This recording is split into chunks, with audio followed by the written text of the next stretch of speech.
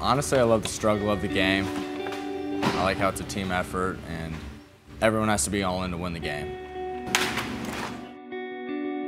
I do something football seven days a week.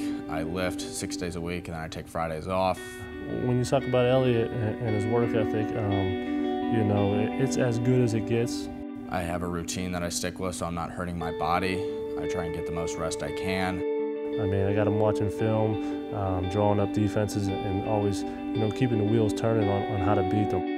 I think my mechanics are pretty good and my knowledge of defenses are pretty good and I really understand the game of football itself. If the cornerback stays down with the hitch, then I'd bang the corner in before the safety. Or if he drops back, then I hit the hitch right away and take the yards.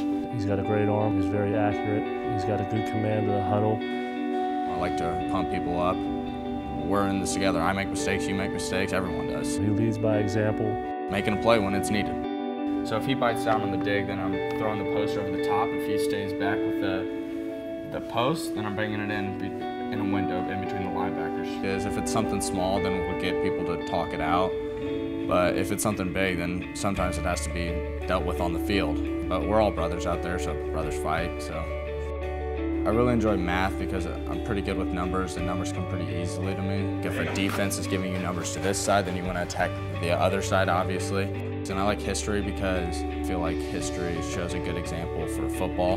Like if you're put in a situation where you make a mistake, you got to move on and not let it happen again.